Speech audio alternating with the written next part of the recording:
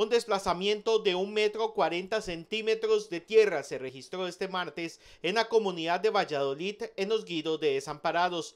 El fenómeno es estudiado muy de cerca por la Comisión Nacional de Emergencias, debido a que en los días anteriores se dio la movilización de 24 familias. Realmente se corrobora una caída vertical del terreno de más o menos un metro cuarenta.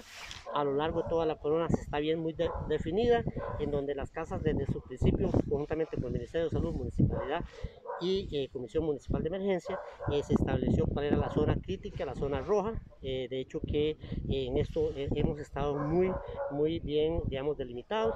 La zona de alta vulnerabilidad también se identificó cuáles eran las casas que podrían permanecer.